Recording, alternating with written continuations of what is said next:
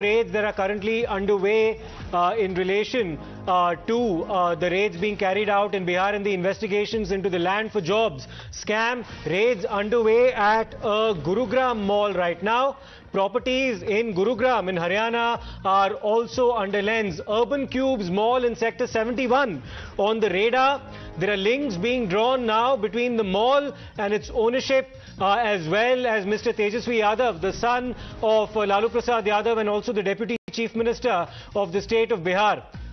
Properties in Gurugram are now also under the lens and the scanner of the Central Bureau of Investigation and raids are currently underway at the concerned mall in Gurugram. Let me go across immediately to Bhavtosh for more on this. Bhavtosh, what can you tell us about the links uh, being alleged here between the mall currently being raided by CBI authorities in Gurugram and uh, with uh, the family of Lalu Prasad Yadav?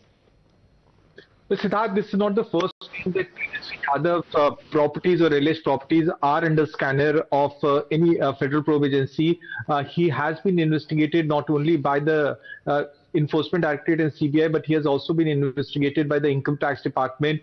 Uh, one of his of, of, the Lalu's family's house in New Friends Colony have also been reportedly been investigated by the Income Tax de Department. The manner in which that property was purchased. Here you are talking about a mall, urban mall, Urban Cubes uh, 71 mall, which is on the uh, towards the Sohna side. Uh, CBI is is carrying out raids and searches. What uh, sources within CBI is saying that uh, people close to Lalu Prasad, uh, to Lalu Prasad Yadav's son, Tejaswi Yadav, and also his family members and associates had reputedly purchased this mall, parts of this mall, and through proceeds of crime. Now, this is a very serious charge that have been leveled by sources within CBI. They have said proceeds of crime, this mall. Uh, and remember, uh, Siddharth, uh, the property in Gurgaon is pretty expensive, very uh, expensive. In fact, in some places more expensive than even Delhi.